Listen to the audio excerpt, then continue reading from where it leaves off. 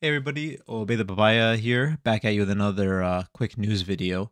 Uh, let's get straight into it. So uh, we got the new news for what's next, the PlayStation closed beta.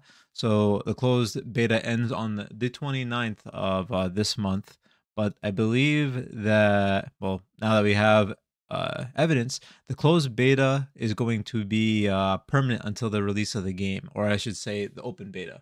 So whether it costs money in the future, we are unsure of, but so basically, the current end of the closed beta uh, was going to end on January 28th.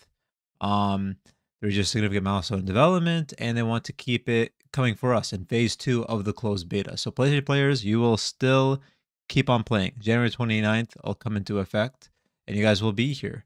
Uh, we also got information on Codename Emerald, which is a new uh, original hero coming out um, from the devs, and it's said to be a mid lane, a deadly mid laner. So that's going to be very interesting, as I am a mid lane main and very excited. So that's what we're getting here. Um, so what's changing? They're just discussing that uh, to simplify it, the biggest difference is going to be the free rotations and whatnot.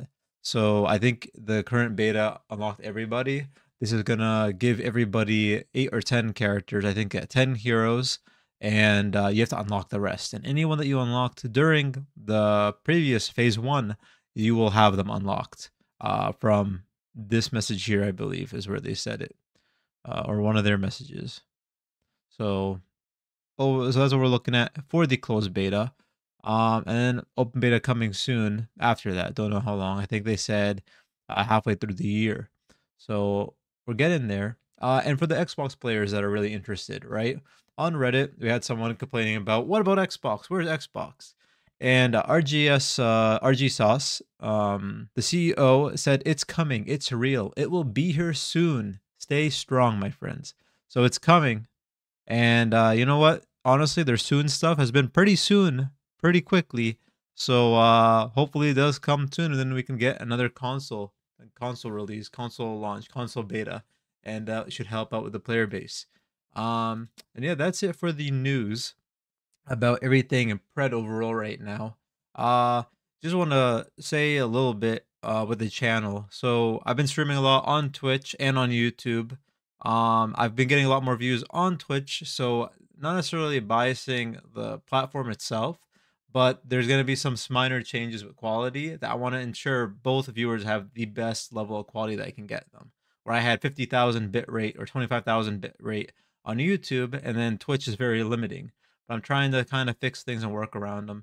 Um, also, I know there hasn't been as much of videos. Uh, it's just I've been busy during lunch is when I during lunch at work on my nine to five is when I start really trying to think of uh, new content, making guides and whatnot. But I recently have been going to the gym, and that's been cutting away greatly. And I enjoy playing the game, and I would like to get more gaming in than writing the guides up as i think that watching me play can watching and asking me can be as effective. Um and a lot of the games so like the, my my daily gameplay videos it just felt it the game has not felt good for me to record. I have felt like the current matchmaking has it not been the quantity i want to send out.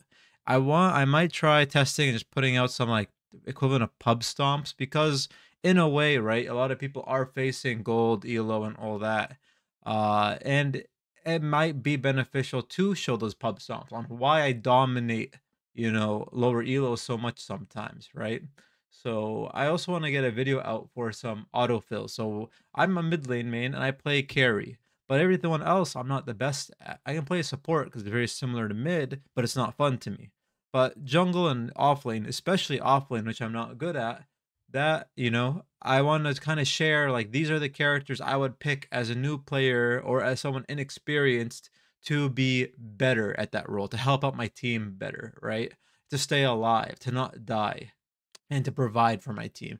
I do plan on making a video on that soon but all right so that's it for the video. Let me know what you guys think uh you know all the xbox and playstation players let me know if you're excited um if you have any questions um and yeah i'll catch y'all.